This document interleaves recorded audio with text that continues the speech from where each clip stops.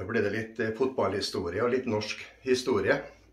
Vi har jo vært gjennom damefotball, Vålerenga med Tippen, eh, toppskårere fra Kristiansund, litt Molde og Røkken. Jeg tenkte jeg skulle starte med begynnelsen. For fotballen kom til Norge via England. Det var faktisk gutter fra borgerskapet og middelklassen som var der på studieopphold, eller var sendt ut av firmaer og fedre for å lære seg business. Det var mange fra Kristiansund. Du skulle på en måte lære både språk og kultur for å drive handel. For Norge drev utstrakt handel med kontinentet og, og England og Sør-Amerika og Nord-Amerika. Så det var to karer som het eh, Salvesen og Dahl. De stifta Kristiania fotballklubb i 1885. Det var den første klubben i Norge. Første kampen gikk mot noen marinegaster, britiske, som eh, var i Norge. Og de, så kom kong Oskar 2. på besøk, og da måtte de være om bord. Så den første kvelden så vant Norge klart. Dagen etter stilte britene med fullt lag. Da tapte vi klart. Vi tok dem igjen i 1981, da. Det kommer vi tilbake på i en annen sekvens. Det var stor skepsis til, til fotball. Det var kalt en rundepest. og Damer som gikk på fotballkamp, de var nesten dømt til evig liv som eh, skjøge og gledespike, sto det i Adresseavisa på 1880-tallet. Det var uestetisk, det var halvpornografisk å se på gutter springe rundt i, i kortbukse.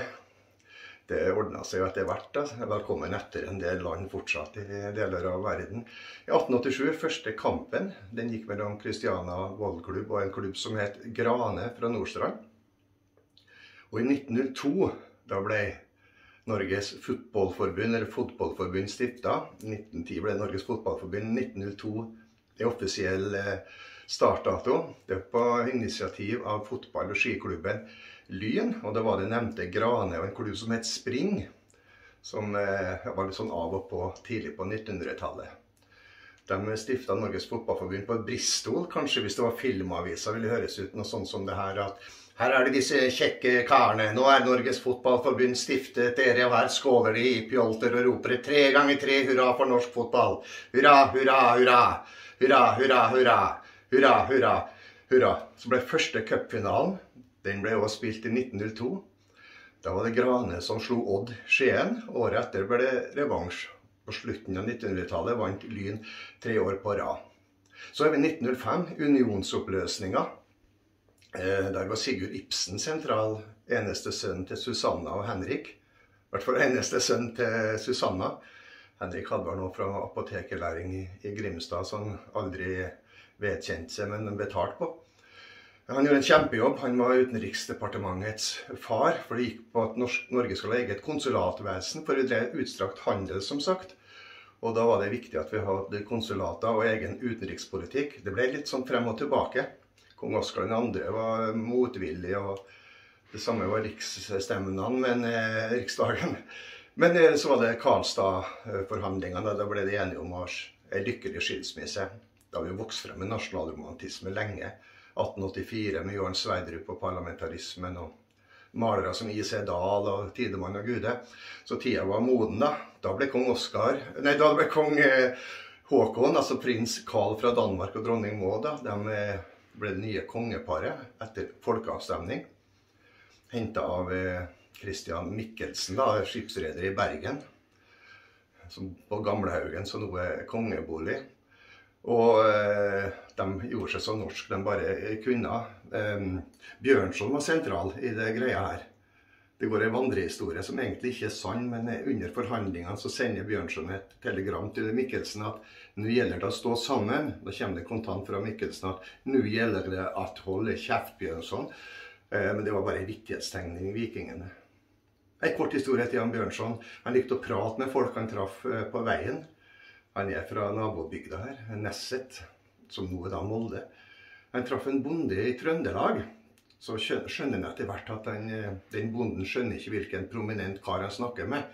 Til slutt vil han gjøre seg til kjenne han Bjørnson, så sier han at ja, de vet vel hvilken prominent person de står og snakker med. Nei, han visste nå ikke det, da.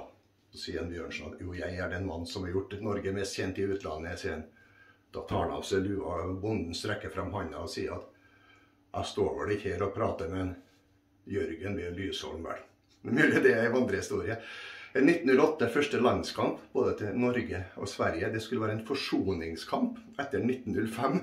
Det ble noe helt annet. Det ble en slåsskamp. Eh, Trygve Gran, som var førstemann til å fly over Nordsjøen i 1914, fire timer og ti minutter. Trygve Gran han fant også eh, teltet med Robert Scott etter de hadde frøst i hjel i forsøket på, å, på ekspedisjon til eh, Sydpolen da, i 1911-1912.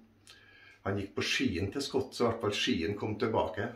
Han var deres skitrener, var med en Scott i tre år. Under første verdenskrig skjøt Trygve Gran ned Herman Gøring og fikk, eh, ble veldig æra. Han hadde en teddy. Han ble kalt seg Teddy, for Norge var jo nøytralt. Og når han fløy over Nordsjøen, hadde han også en teddybjørn. Etter hvert så gikk han over på britisk side.